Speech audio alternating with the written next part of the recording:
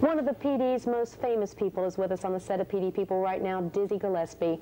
And Dizzy, the crown prince of jazz, I am so glad to see those beautiful little cheeks right here on the set of Pee Dee People with us. Oh, Dizzy, wonderful.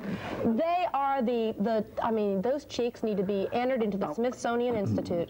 Well, I tell you, uh, there, there is a condition named after those cheeks. I heard that.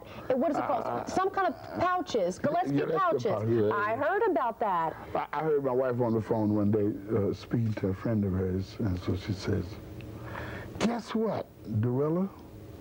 And Dorilla said, probably said, what? Say, Dizzy has got a disease named after him. Called Gillespie pouches. yeah, Gillespie pouches. Anybody who has poofy cheeks, that's what they call them, huh? Mm -hmm, I guess. We are so glad to have you here on behalf of the Cattani Foundation. You've just finished a performance at Francis Marion College. I know the students were in heaven. Yeah, it was nice.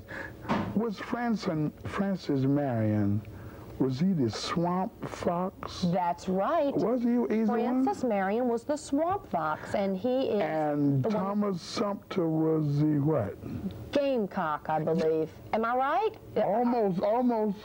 Uh, almost, that sounds almost. I'm supposed to be asking the questions, Dizzy. Don't put me on the spot. I, I wasn't too good in history. English was my bag, but anyway. Mine too. Oh, okay, good. Then let's just forget Mine the history. Okay. Let's spell something. You're, oh, like what? Spell uh, rutabaga. Oh, no, Dizzy. Oh, Don't do this to me.